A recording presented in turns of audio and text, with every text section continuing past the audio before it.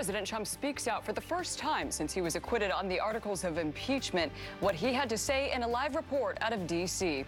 Plus, the coronavirus concerns spread to Oahu as several people are under self quarantine after returning from China. Now, from Honolulu, for all of Hawaii, this is KITV4 Island News Midday.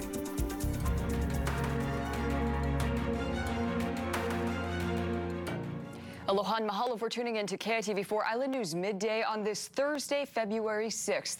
I'm Lindsey Fukano. President Trump is speaking out today for the first time since he was acquitted on the articles of impeachment. The president is both celebrating and offering a warning to his political opponents. Our Washington correspondent Matt Knoedler live on Capitol Hill now with the very latest for us. Matt, good afternoon. Lindsey, good afternoon. The president's victory lap started this morning. All right, Matt, thank you. And after being acquitted in his Senate impeachment trial, President Trump also said this should never happen to another president. But meanwhile, over at the Capitol, a very different message from the Speaker of the House. Camila Bernal now has the latest from Washington. And now to the very latest on the coronavirus outbreak. The death toll at 560 and counting. More than 28,000 people around the world have been infected by the virus out of Wuhan, China. On Oahu, roughly seven people self-quarantined themselves at home after returning from China. And right now, the Department of Health reports the patients show no symptoms of the coronavirus and pose no threat to the public. And this is a map of the 25 countries with confirmed cases, most of them in China China, where the virus started. Hawaii still has yet to see its first confirmed coronavirus case, but if anyone comes in the state with symptoms, they will be quarantined for two weeks at Joint Base Pearl Harbor Hickam. And right now, you're taking a look at what the quarantine facilities look like on base. Meanwhile, several state media outlets and Wuhan Central Hospital now reporting that a Chinese doctor who sounded early warnings about the Wuhan virus is in critical condition. Hours earlier today, the same state media outlets reported that he had died. He was one of several medics targeted by police for trying to blow the whistle on the deadly virus in the early weeks of the outbreak, and he later contracted the virus himself. Well, there must have been lots of rain over our state in the last 24 hours. Tasia Worley's in now with the very latest. Tasia. That's right, Lindsey. In the last... And now to the very latest on the Hibiscus Drive homicides. The Honolulu Medical Examiner has officially identified the second set of human remains found in the rubble near Diamond Head three weeks ago as 69-year-old Jerry Hanel. Hanel is accused of shooting and killing two Honolulu police officers, then starting a fire that destroyed seven homes on Hibiscus Drive. The other set of remains were identified as Hanel's landlord, Lois Cain. Police also found firearms in the debris. Kaulike Kalama was one of the police officers shot and killed that day. His memorial service is scheduled for March 7th at Bishop Memorial Chapel at Kamehameha Schools. A public viewing starts at 9.30 in the morning with the actual service beginning at 10.45, followed by a procession and another service in front of the Honolulu Police Department headquarters. Extended family of the other fallen officer, Tiffany Enriquez, are holding a memorial mass in Tennessee this Saturday. Her career in law enforcement started in Clarksville and joined HPD. The Honolulu Police Department's getting dog tags inscribed with scripture honoring both Enriquez and Kalama. It's courtesy of a nonprofit group called Point 27, and they call the tags Shields of Strength.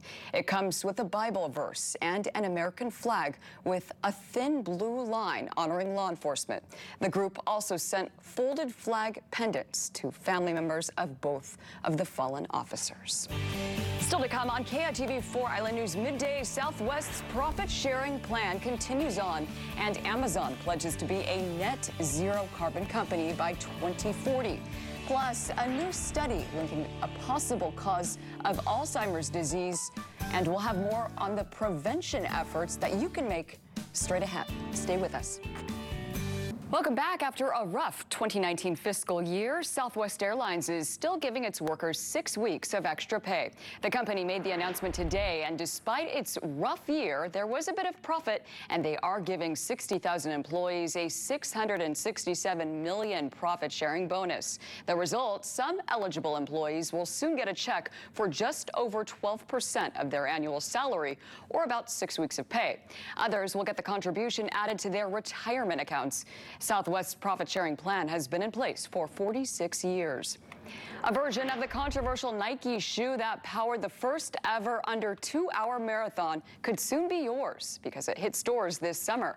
The Air Zoom Alphafly Next Percent has a carbon fiber plate. This is for a sensation of propulsion and cushioning that minimizes energy loss. Nike calls it a sign of game changing progress. The release date and price has not yet been confirmed. Meal prepping for a family of four can get costly. Americans spend more than 7,000 on groceries and eating out per year. This is according to the latest statistics from the Bureau of Labor Food. And the third biggest expense for consumers in rural areas next to housing and transportation is meal prepping. The Student Borrow, Borrower Protection Center says where you go to college could be factored in the cost. For example, it found that community college students were charged more to borrow than those that attended seven, uh, four-year universities.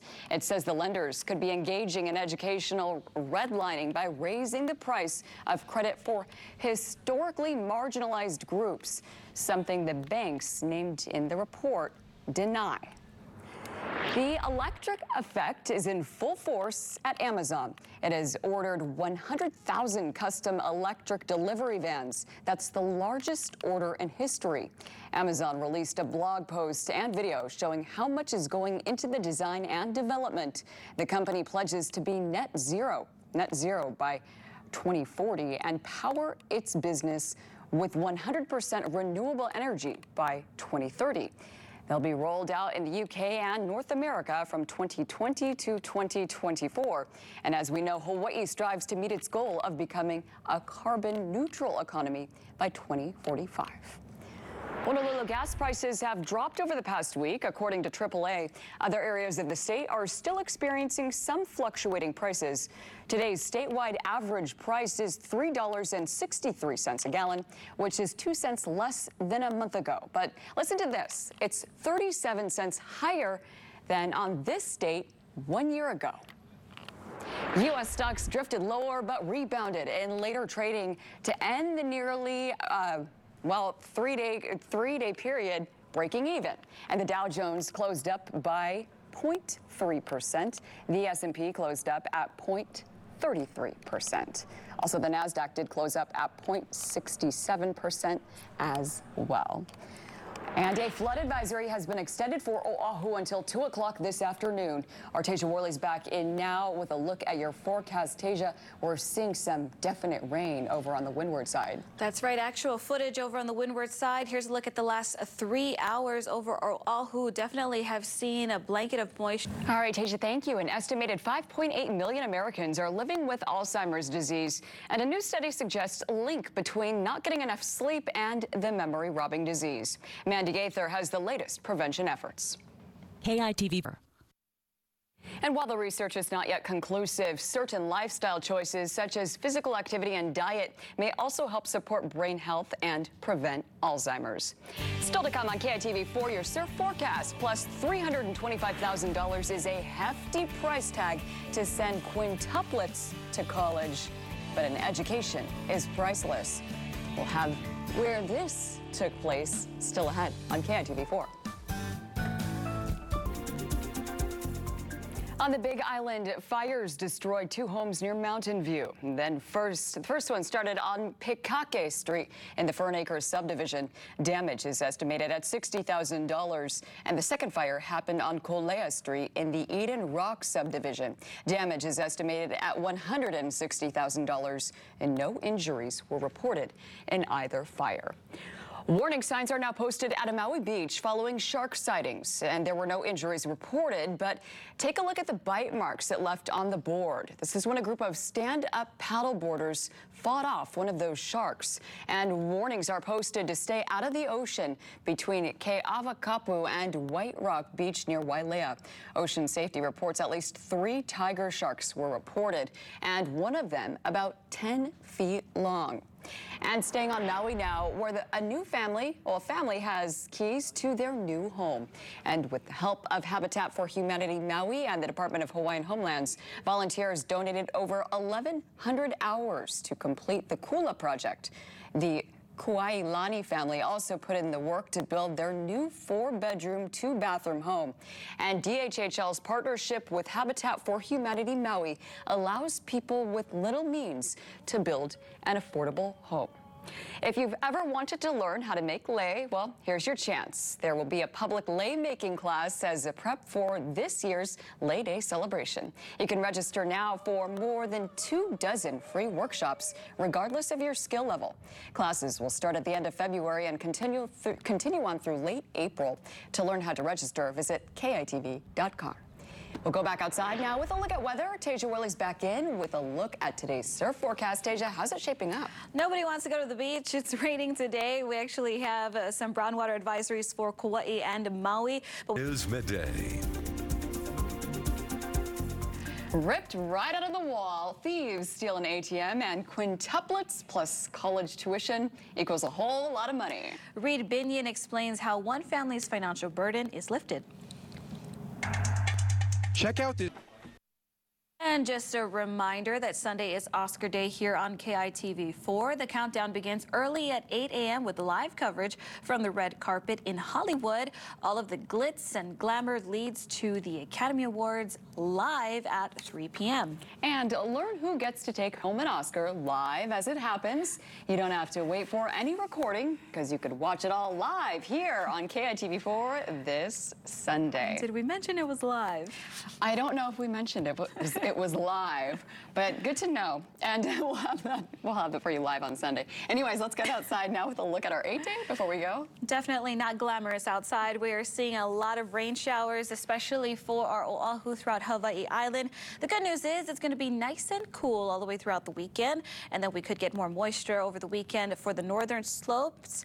At least we have those breezy winds back 10 to 20 miles per hour, and then of course those on and off showers that will be lasting throughout the weekend. So make sure you keep that rain jacket or raincoat handy. All right, and like you said, not a good day to go to the beach. So make sure you stay indoors and uh, enjoy enjoy the rainy weather. Some people like it. We'll have much more to come coming up at 5 p.m. tonight. Have a great day. Aloha.